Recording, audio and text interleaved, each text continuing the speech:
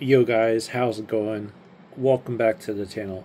So today we're going to be benchmarking my newly acquired MSI Vanguard RTX 5090 graphics card. We're going to be testing uh, the 3D Mark Time Spy, Port Royal, Steel Nomad, and Speedway. But first I'm going to go over the system settings that I currently running.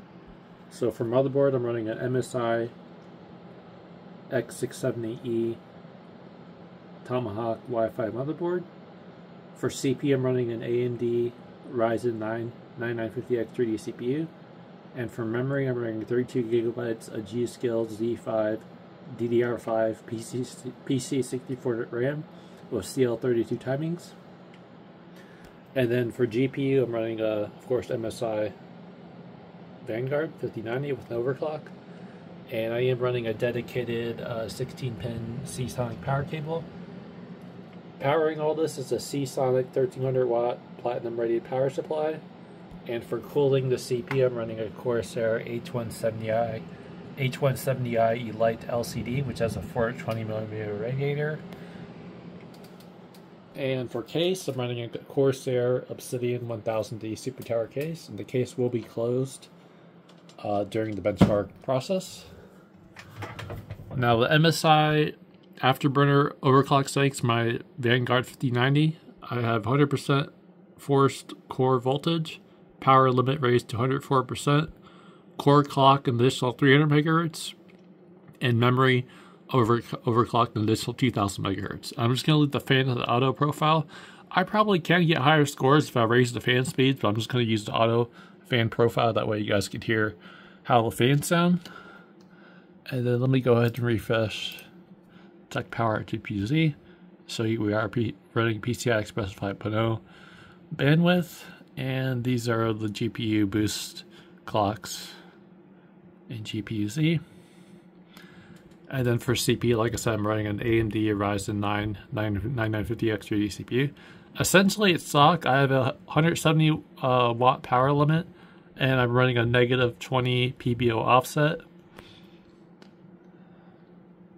And then for the RAM, like I said, 32 gigabytes G.Skill DDR5 RAM, CL32 timings, and 6400 megahertz uh, mega transfer rate. Okay, so like I said, we will run. Uh, we're going to run Time Spy Extreme, Port Royal, Steel Nomad, and Speedway. So let me get um, Time Spy Extreme started and uh, we'll get started right away. Enjoy.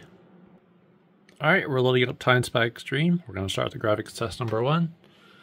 And I will try to show you GPU clock speeds, and we will monitor the temperatures, power draw, and we'll also monitor the sound that the GPU is making. So, got the case closed right now. As you can hear, the fans are nice and quiet, nothing overly loud, no coil whine. Maintaining 31, 35 megahertz core clock, pulling 552 watts, 100% GPU utilization, and a temperature of 58 degrees Celsius. So very, very good so far. 35% fan speed, now 36.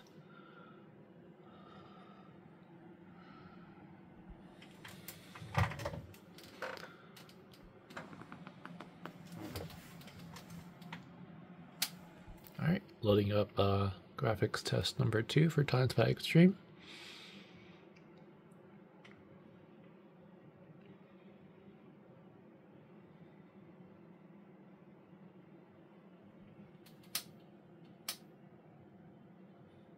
Pulling 600 watts there, 604 watts.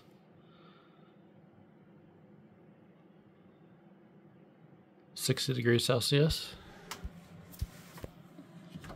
Again, the fans are nice and quiet. No coil whine. No unusually loud fan noise.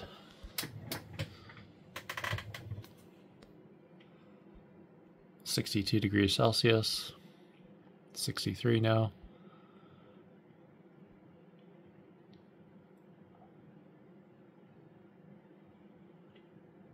And no unusual fan noise, just nice and quiet.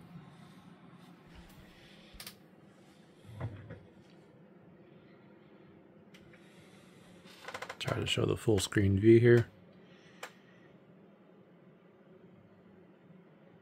64 degrees Celsius.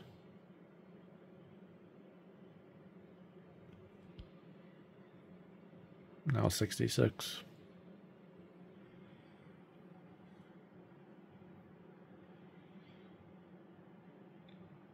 Okay, now we've got the CPU test, so we're going to look at the CPU temperatures now once this gets loaded up here. And this should pretty much put a lot of load on the CPU, and we'll see how the Ryzen 9 950X3D CPU responds. 74 degrees Celsius, 165 watts, 158, 154, 74 degrees Celsius.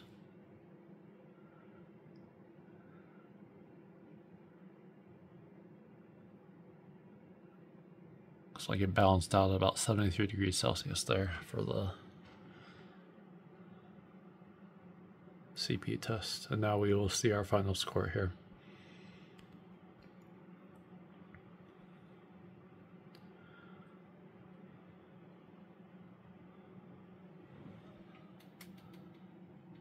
Twenty-three thousand nine ninety-one, graphics score of twenty-seven thousand three hundred four, CPU score of 14,207. And these are the GPU clock speeds that we maintain throughout the test.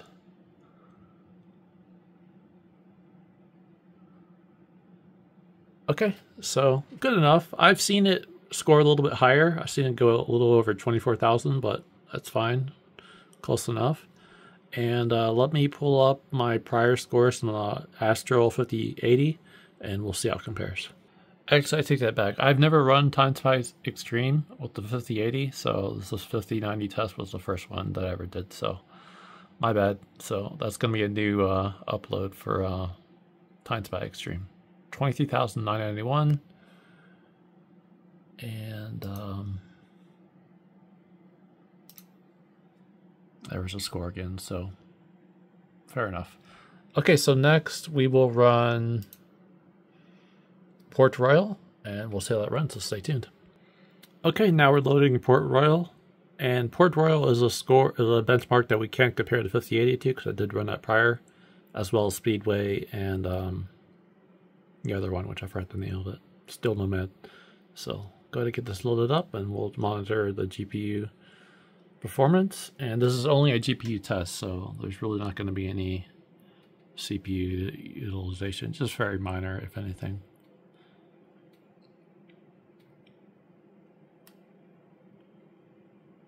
So running about 30, 30 to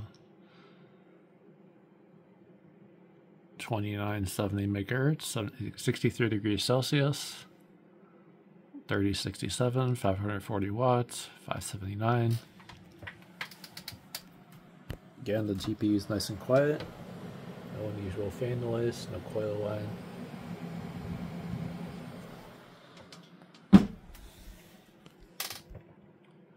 Just briefly before I showed the camera, it was at 604 watts, a little bit of a spike there. So yeah, the 5090 certainly does pull a whole lot of power, no doubt. Give you a full screen look here.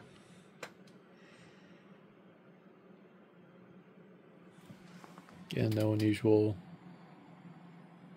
GPU noise. 603 watts there.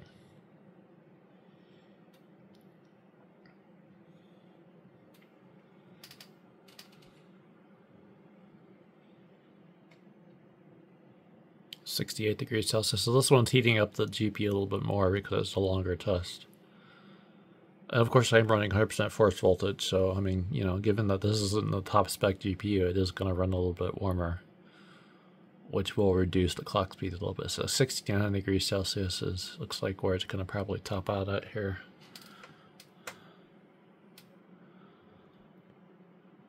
All right, we'll see our score.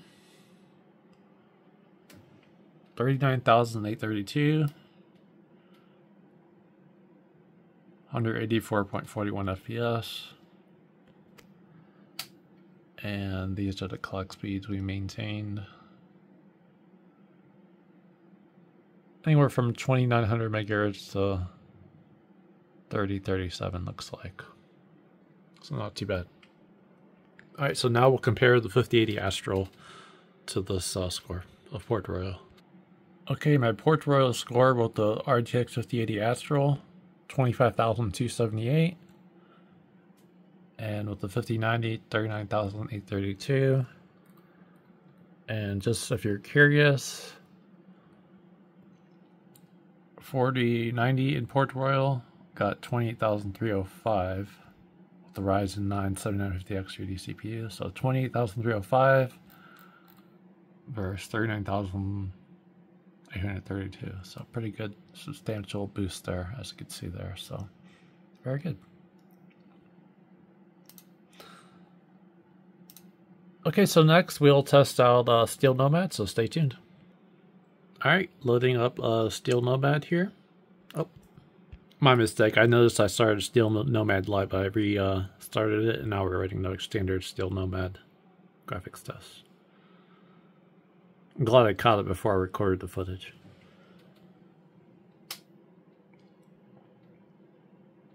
Okay, maintaining 29 85 to 3000 megahertz, 63 degrees Celsius, 599 watts.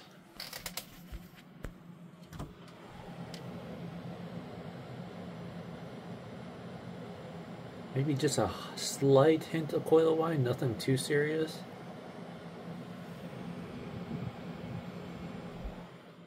Just a slight hint, nothing too unusual. 602 watts there. 65 degrees Celsius. Now this test usually is pretty fast, so we'll try to uh, show the full screen view here. Maintaining 2985 to 3007 megahertz.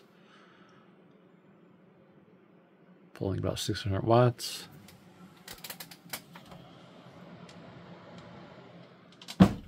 Okay, so now we got our score here. That one's pretty quick, so 15,240 with the FPS at 152.41. And these are the GPU clock speeds we maintain throughout the test. So not too bad. Alright, so we'll compare the 5080 Astral and Steel Nomad and we'll see how it compares. Okay, so the Astral 5080 got 9,541 in Steel Nomad. And the 5090 got 15,240. So nice little boost there. Not too bad. Alright, so next we'll run Speedway and then we'll be done with our benchmark. So stay tuned. Alright, loading up Speedway. Now this test is pretty quick, so I'm going to be pretty fast on showing the GPU as well as the actual GPU running inside the case. So we'll try to uh, show both sides here. So 3090 megahertz, 572 watts, 583, 60 degrees Celsius.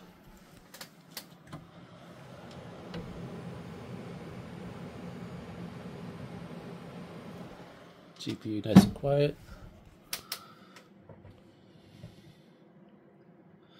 Now we're upwards of 62 degrees Celsius, 30, 60 megahertz, 575 watts, 100% GPU utilization, and with the case closed, overall pretty quiet. Try to get the full screen view here. 3067 megahertz, 65 degrees Celsius now. Still 100% GPU utilization, and I said, this fast test which uh, makes sense. It's called Speedway. And we got a score of 15,231 with a FPS at 152.32. And these are the GPU clock speeds we maintain, so 3082, 30, 52. So yeah, not too bad. Alright, so now we'll compare the Astral 5080 in Speedway. Okay, so the Asus Astral 5080 got 9,860. And the 5090 got 15,231. So nice little performance boost with the 5090. Alright, very good. Well, that shows you how the MSI Vanguard RTX 5090 when overclock performs in 3D Mark benchmarks. Hope you guys enjoyed the video. If you did enjoy the video, do give this video a like. If you want to see more content like this, more Vanguard RTX 5090 game benchmarks, along with my Ryzen 9 9950X 3D CPU, feel free to subscribe. Thanks for watching. Hope you guys enjoy the rest of your weekend. Appreciate all support and uh, have a wonderful day. Thanks for watching and peace out.